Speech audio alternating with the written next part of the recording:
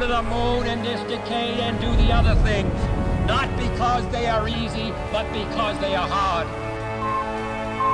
That's one small step for man, one giant leap for mankind. The road to space has been long and difficult.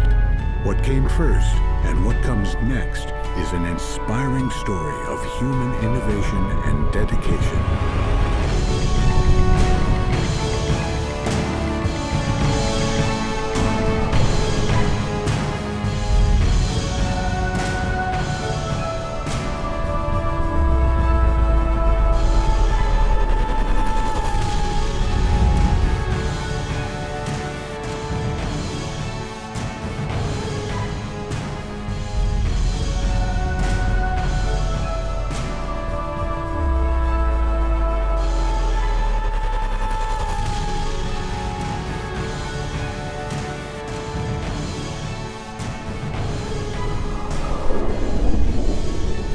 find what's next.